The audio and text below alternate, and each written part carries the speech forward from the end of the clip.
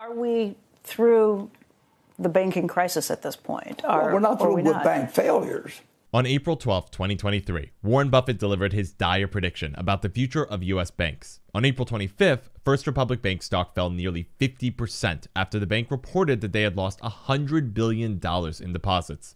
By the time you are watching this video, First Republic Bank might not even exist.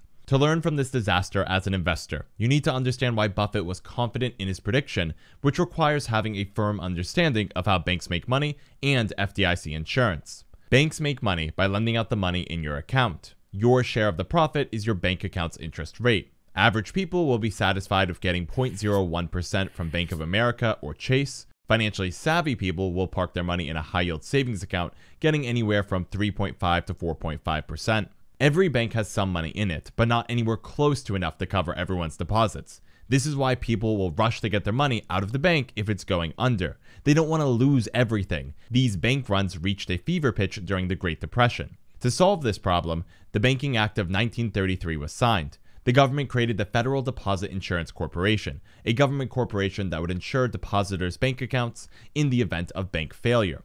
The banks would pay dues for FDIC insurance, just like how you pay for car insurance. The insurance limit was initially $2,500. The limit these days is $250,000 per bank account type. If your FDIC insured bank fails and you have a quarter of a million dollars in checking and another quarter of a million in savings, you will get all $500,000 back. Now, that is very reassuring, unless you have millions of dollars in a bank account. If you have $10 million in checking and $10 million in savings and your bank fails, you get 500K back your other $19.5 million is gone forever. When Silicon Valley Bank was shut down by regulators on March 10, 2023, this reality reared its head. For example, Roku had $487 million in Silicon Valley Bank. Roblox had around 150 million. Fortunately for these companies, FDIC announced that they were going to cover everything in Silicon Valley Bank instead of just $250,000 per account type but coverage beyond $250,000 is not guaranteed for every bank failure.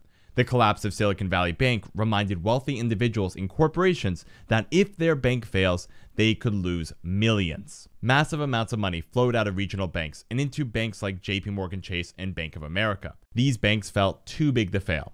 While the large banks were soaking up deposits, the regional banks were struggling to stay afloat. First Republic Bank catered to wealthy individuals, many of whom had bank accounts higher than the FDIC insurance limit.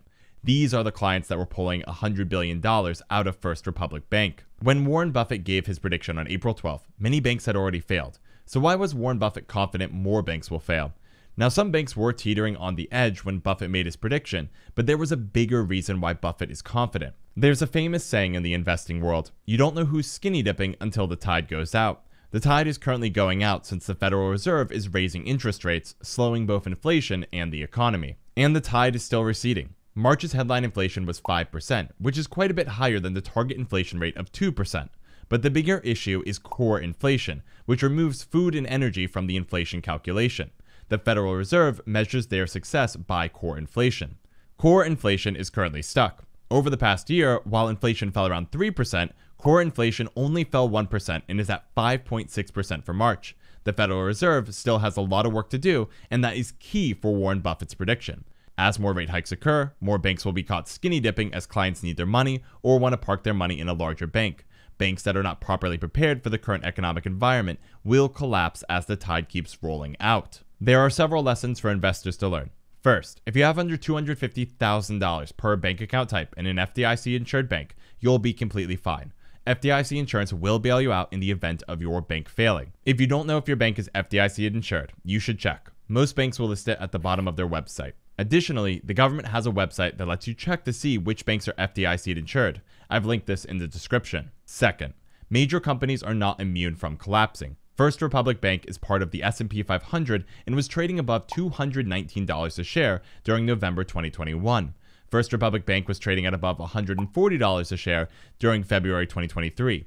Two months later, the stock is currently trading around $6 a share. Third, the economic situation in the United States is getting worse. As the Federal Reserve raises interest rates, the economy will continue to slow, more companies will fail, and the stock market might crash.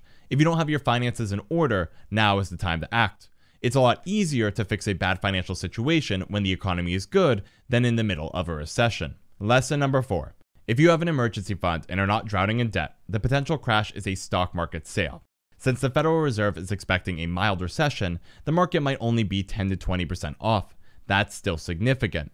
During the average person's working life, they will typically only experience 5 to 6 sales in the stock market. You should take advantage of every sale, even a small one. If you enjoyed the video, consider subscribing for even more content. There's a lot more to come.